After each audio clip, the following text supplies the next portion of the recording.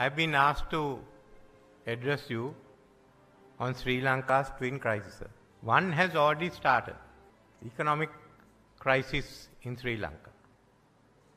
I need not go back to the past as to how we deprived ourselves of our foreign exchange, how we decided that we go uh, to it alone, and how the facts were concealed not only from the people but from parliament and from the members of the then government.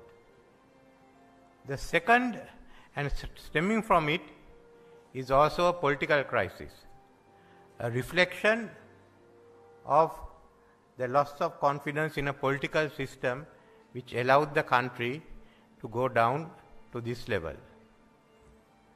So, this is what we are grappling with. There is the second crisis. The second crisis is the global impact of the Ukraine crisis. We are only seeing the beginning of it the increase in fuel. It will get much worse as it goes along. As it goes along, you will find most probably be a shortage of food. The food shortage will go globally till 2024. After all, this, uh, Russia and Ukraine are the largest, one is the largest producer of grain, other is the fifth largest. You cannot export the Russian grain and Ukraine, whatever is left, cannot be sent out. their ports are closed by the Russians and their rail track gauge is different from that of Poland. So each carriage has to be lifted and put onto the Polish track. You can't send food out that way. And many of their fields of the agriculture area are destroyed. Even if the war stops tomorrow, it will take Ukraine at least three years to get its cultivation back on track. Then the rising price of fuel, the rising price of corn, again the shortage of fertilizers. So, how does it hit? It hits the whole world. There's a shortage of fertilizer in California. There's a shortage of fertilizer in Brazil. How do you meet it? And there's going to be a shortage of food. Already countries are banning the export of food. That's the second one you have that you are facing. So, what is going to happen? No, no, we are not going to add the Ukraine crisis to the Sri Lanka crisis. That is not the impact. The impact is going to be the Sri Lankan crisis multiplied by the Ukraine crisis. So, this is only the beginning. And just for the shortage of dollars and rupees, we have already shaken the political system. I came today from a leading of meeting of uh, the political party leaders in parliament and they've arrived at a consensus on how the 21st, how the new amendment should be brought in and should amendment that will avoid any provision which will require referendum. But will that do? As this crisis gets worse, there are going to be many countries affected by the Ukraine crisis. Some say 40, some say 70 but we are unique. They are only getting affected with the until the Ukraine crisis took place, their and the impact came, their economies were normal. Not in our case. We have already started suffering. So where do we go from here? We didn't go early enough to the IMF. Take the case of Zambia. They went early, but it got delayed because the Chinese and the others could not agree. Now they've come to an agreement, it has to go, staff agreement, it has to go to the IMF board to be finalized. But in the meantime, because of the Ukrainian crisis, the price of copper has gone up. So they can manage with what they are getting now until they get the Ukrainian, until you get the assistance from IMF. Ours is different. We are losing our sources of foreign exchange. So this is what we are faced with. And we, as I said, this is only the beginning. At the moment, there are no queues for petrol. What you don't understand is that I have to do the job not only of the Prime Minister but a firefighter. Every morning, from where can you find $20 million, $30 million, $40 million to pay for a ship? If we miss one, then there will be a shortage that day. You can't carry on a government like this. The problem we face now is so bad that what will happen when the Ukraine crisis comes on is another story. We have run down our economy. We have state enterprises owning trillions and trillions of rupees to the banks. We have enterprises that are losing. We have projects which will not benefit Sri Lanka. There are no priority lists. Even till recently, everyone, eh, different agencies were actually using the different credit lines to order what they wanted. There was no priority. If someone said, I want fertilizer, that was there. If someone said, I want petrol, fuel, it was there. We had to establish a priority order and uh, sort of centralize the distribution, uh, the access to the foreign credit lines. So this is just a start of what we have to do. The worst is still to come. As you know, we may not have food. And we, we are, our food supplies are enough until about September, October. Because we didn't have enough fertilizer either for Maha or for Yala. Now we are trying to have get fertilizer for the next Maha season. If we do, then we will certainly be self-sufficient by February next year. What do you do in between? As the economy fails, more and more jobs are being lost. More and more enterprises, big and small, are collapsing. This is what we are going for. Time will come when people may not eat three meals a day. If they survive, they, they may need two meals. That situation will come for some of our people. We have to avoid hunger. Is there an end to it? Well, we are talking with our other nations, the friendly nations, to get help. There is light at the end of the tunnel. But to ensure there are no earth slips while we go through the tunnel. That's the problem. We cannot get through this year by ourselves. We need a few billion dollars to come from outside. Otherwise, this country cannot survive.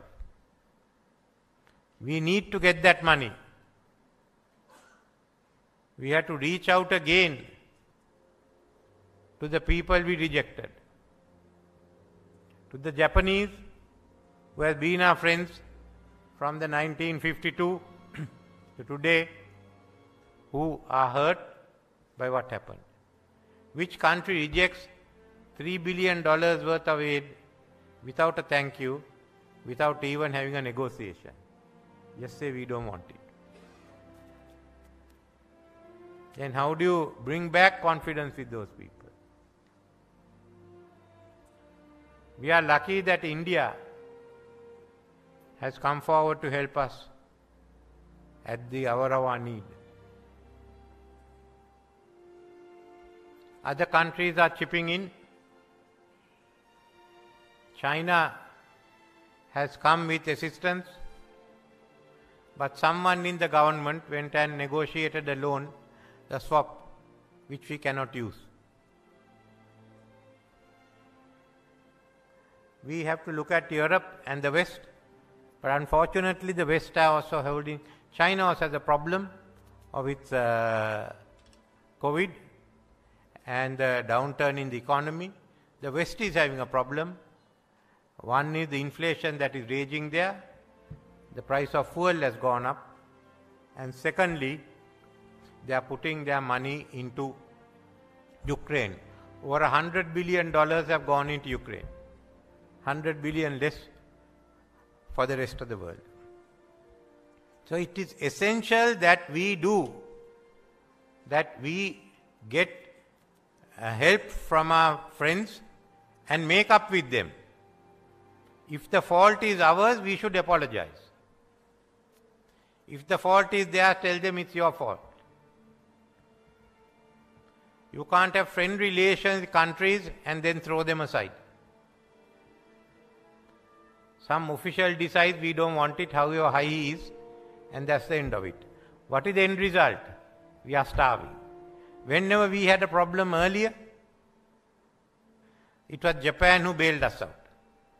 I remember during the Kuwait War, when all our people had to return from the Gulf, and uh, President Premadasa sent me to Japan to meet Prime Minister Kaifu. He took the letter, he put it on a side, said, Yes, I'll ask my people to uh, study it. And then before I went, I was told there are $600 million for you. $600 million in 1990 is a big thing. That is how we worked. Today is different. So I have to spend time rebuilding trust with these people, talking with them to increase assistance. They have, some other countries have promised the government earlier with assistance, but that's not enough we have to reach out to the ones like Japan. India had started the process, China had come in, but Japan is needed and the West is needed. then we have to sit down. We have talked with IMF, push through agreement soon. There are a large number of countries waiting to go up to the direct board. And at the same time, we have to decide on our debt. What are we going to do? How is the consortium going to work? Because the Chinese criteria is different from that of others. So, how do you ensure that all of them share the burden equally, though the systems may be different? This is another issue that we are facing. We have to get all of them together. Who is going to summon the consortium? Where are they going to meet? And how are they going to agree? So we have to speak to all the members to see how we can help to iron out the differences. So this is the situation we are in. To go forward, we need their help. We have to get their help then only we can start working out within the country. Otherwise, we will find that gradually the economy is slowly coming to a halt in different sectors. Already the construction industry is coming to a halt. Tourism has fallen by the wayside. Two are major sectors of the economy.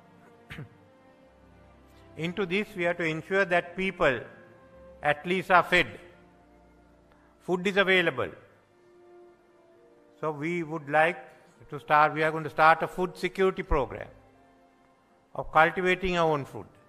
And that will have to go on till 2024 because 2023 also may be a bad year globally. So 2024 we have to go on. And I hope that all of you and others will join in this effort. Within this, we are working an economic stabilization program. I have appointed a council and they will be meeting, stabilize the economy, make the money available, and revive the economy and uh, ensure that the real economy starts functioning again. But that is not enough. The next is how do we recover? What are we going to do? then we have to find bridging finance till the IMF comes through and others come in. How are we going to recover? That we must decide the principle. Remember, at the end of this exercise of stabilizing, our debt would have gone up higher. The 50 billion would have gone up more. Then every year we'll have to keep borrowing. So how are we going to repay it? If we don't repay it within three to four years, we come back to the same position. that we have to remember. We have to have a new economy. The old one will not answer. We have to earn more money, more dollars. Then we must have export oriented economy. For the export oriented economy to function, we must be highly competitive. We have to restructure the economy. We have to make it outward looking. Your business must be able to go out to create markets, new businesses, services, maybe logistics, and expansion of IT, or many other sectors. Now you have to come to the next problem. Our professionals are leaving the country. How are you going to fill it? So these are what we are now focusing on. I think all of you should also focus on how do we recover. How do we start earning money? Not merely the not merely uh, arriving at a surplus on the primary budget, a surplus overall, and a balance of trade surplus. These are difficult things that we have not achieved before. But I am confident we work together, go in the correct position, we will achieve it. We have to ensure that this is only a short period. We go through this year and part on next year. And we can start recovering, so by 2025, we can get back to having a break even budget or a primary surplus. Then you bring in a new economy where all of us have to work. Where we have to be able to earn foreign exchange, open up the country. The old system has failed. We try to look inwards. We didn't encourage investments that came in. I find a large number of applications for investments stuck somewhere. The departments are not moving. So we have to think anew, bring a new structure, and to do all that, a new mindset. What can you do? Kindly create that new mindset. That is a start. No one knows of the living. Some of the countries ask, all right, before we help you, have you helped yourself? What have you done to raise this money? Now I have to answer that. Without that we can't go. People can get onto the street and demonstrate, we don't want to do this, we don't want to doing that. But at the end of the day, if we don't help ourselves, no one else will help us. So we have to get ready to go through a tough time and to change the system. Changing the system and bringing this export oriented, I don't think is going to help Iran very much. But his sons and his daughters and his grandsons and the granddaughters are going to have a new Sri Lanka. That's what we are working for. A Sri Lanka that is prosperous. Let this experience be our last experience with this bitter politics. Let's think anew. And that comes back to the Constitution. We based ourselves on the British Constitution. The majority has the power, the minority starts talking and shouting, that's all. But then we change the first past the post into a PR system. Now you are going to remove the presidency. Then do you want to go back to the English system, the Westminster system, Or do you want to have one in which there is more cooperation, like the old Donoughmore system, the state council system? This is one issue that everyone has to think of. I've given some proposals which make the parliament work together, but that's only the beginning. So think of it and remember that this is the beginning of a new journey. Think anew and start traveling anew. Thank you.